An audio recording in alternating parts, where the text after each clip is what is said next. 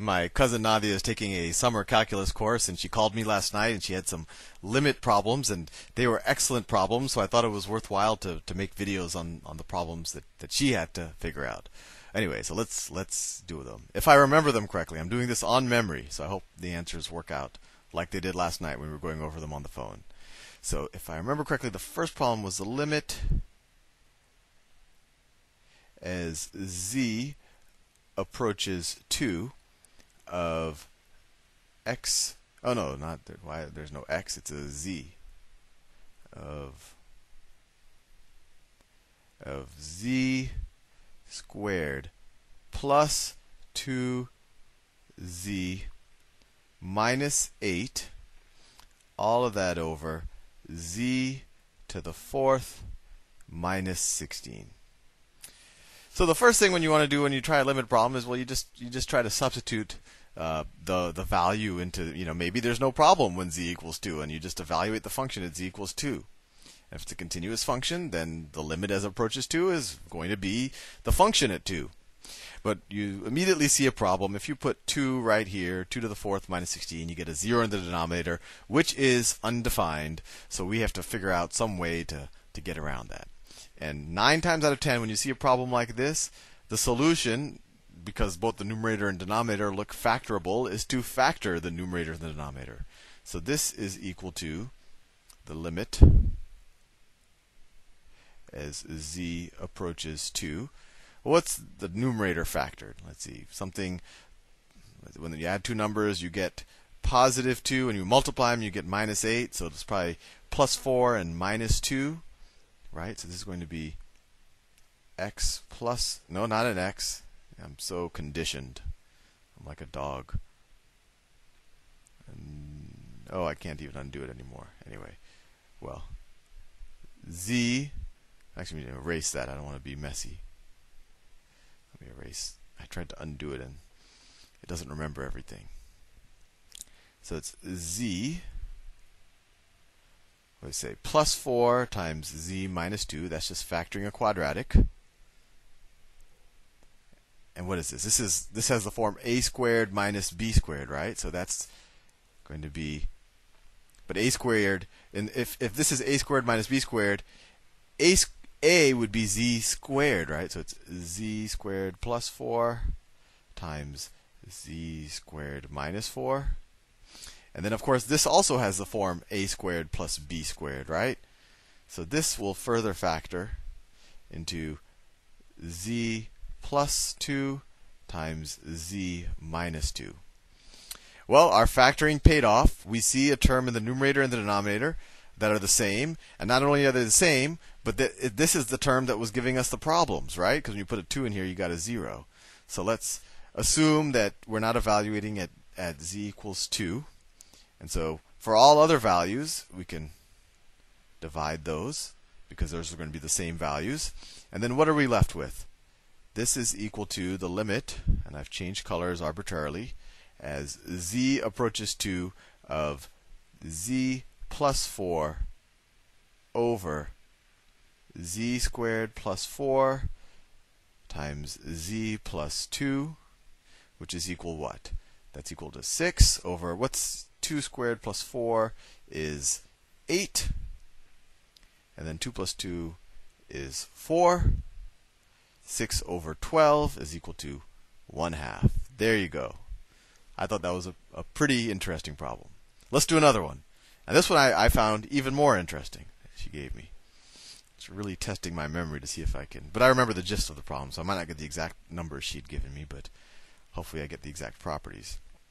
So it was the limit as x approaches infinity of the square root, and this, see, the square root of x squared plus 4x plus 1 minus x. So when you look at this, you're like, well, let's see what, what's happening here. Let's see this. As you go to infinity, this term will get really big, but then we're taking the square root of it, and it seems like this term would overpower this term, and then you know, so maybe this kind of converges to x, but then we would subtract an x, so maybe it approaches 0. So that's at least that was my first intuition when I spoke to her. But as we will see, the intuition here is wrong. And really, to do this, you have to know a little bit of a trick. And this trick pays off a lot whenever you see um, something with a square root sign and then subtracting something else if you want to get rid of that square root sign.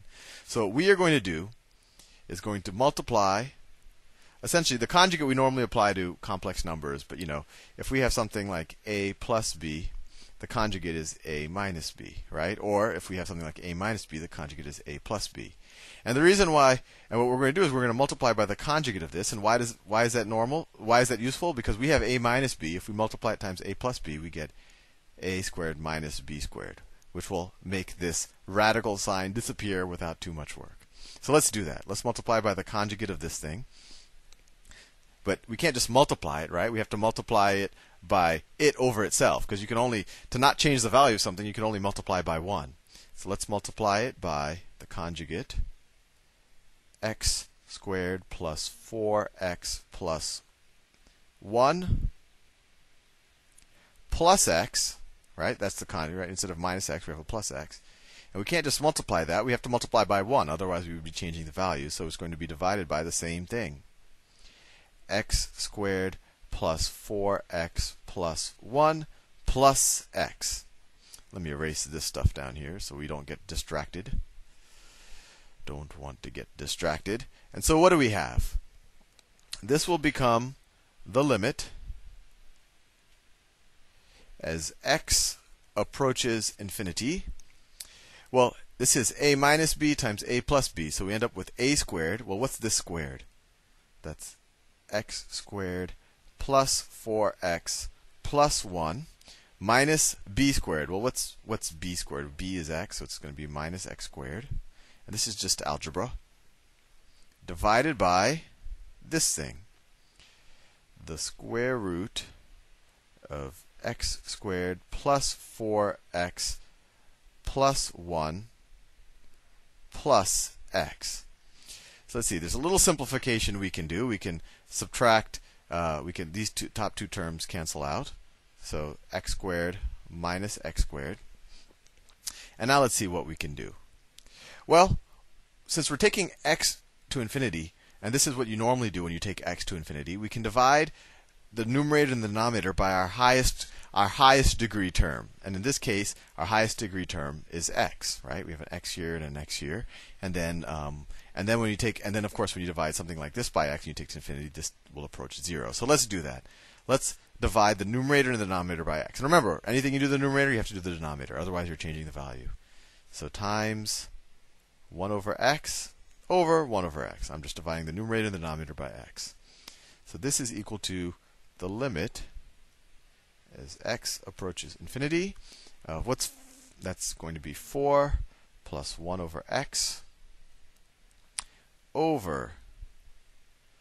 Let me ask you a question. What is 1 over x times this thing? What is, this is a bit of an algebra review, but 1 over x, what's 1 over x times, you know, x squared plus 4x plus 1? I'm just doing a little aside here.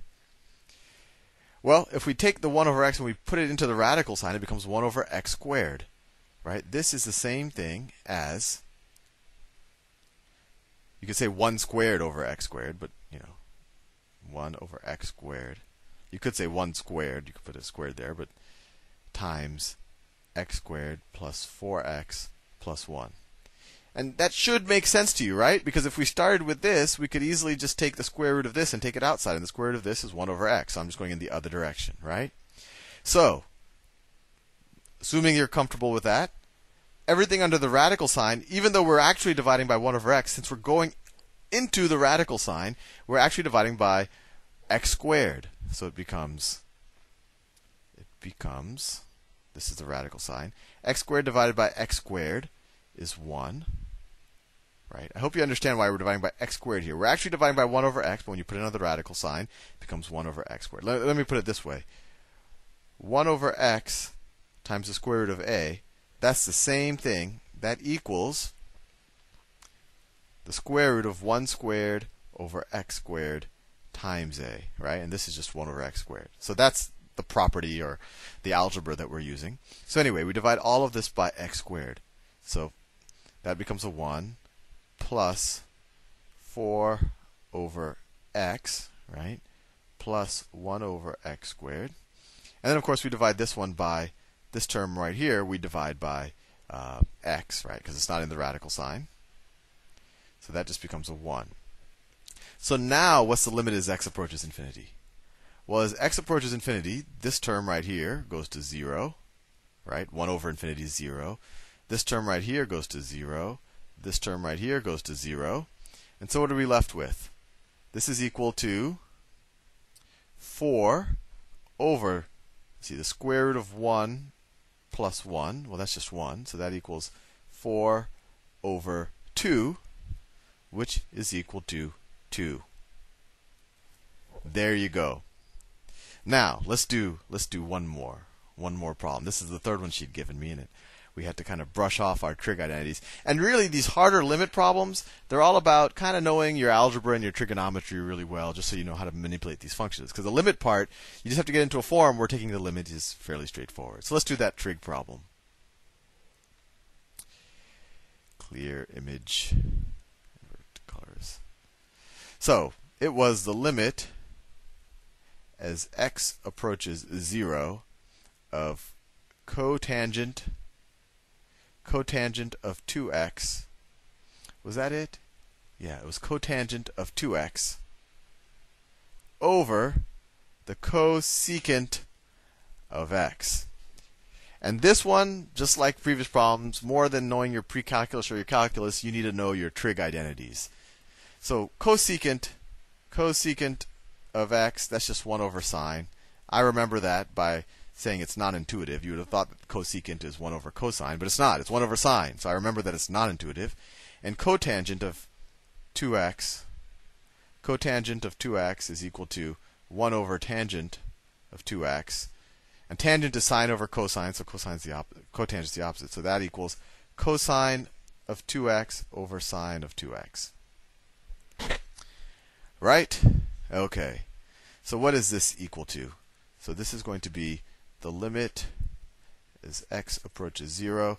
Cotangent of 2x, we said, was cosine of 2x over sine of 2x. And then it's going to be all of that over the cosecant of x. Well, that's just 1 over sine of x. 1 over sine of x. Well, if you div- divide by 1 over sine of x, that's the same thing as multiplying by sine of x.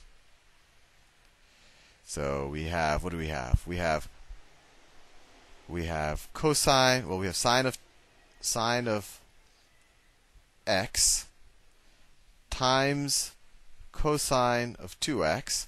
All of that divided by sine of 2x. Just doing a little arithmetic. And we have a problem here still because when you take x approaches 0, this term right here goes to 0, and we have a 0 in the denominator, which is just not acceptable because it's undefined. And that's the whole reason why we're doing this limit to begin with. And actually, that's the first thing you should have done. You should have tried to put it, and you would have seen that you would have gotten a, uh, a zero value in a denominator, and it would have been unevaluatable. Right? Because really, this is just, we haven't even done any manipulation yet. This is the same thing as, as this. And if you put the zero right here, you get undefined. So what can we do? Well, this is where you break out the trig or you brush off your memories. What is the sine of 2x equal? And this is your double, one of the double angle formulas. Sine of 2x it is equal to 2 sine of x cosine of x. So if you know that, then, then you've gone a long way because then it becomes pretty simple to simplify. So it becomes 2 sine of x cosine of x. And then if we assume that x isn't 0, it's just approaching 0, we can divide the numerator and the denominator by sine of x. And what are we left with? We're left with the limit as x approaches 0 of cosine of 2x over 2 cosine of x. Well, what's cosine of 0? Cosine of 0 is 1, right? So cosine of 2 times 0, which is 0, that's also 1. So that is equal to 1 over, right? Cosine of 0 is 1 over 2 times 1. So it equals 1 half. There you go. I think those are three fairly meaty limit problems, and if you know that, you're probably prepared for something that your your calculus teacher might throw at you. See you.